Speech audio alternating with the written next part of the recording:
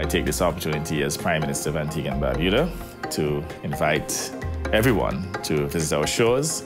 If you want to come here to have a delightful vacation, if you'd like to invest in a safe and secure environment, then Antigua and Barbuda is the place to be. Paradise awaits you. As Antigua's economy grows, incredible modernization is underway. Both port and airport expansions are currently in progress.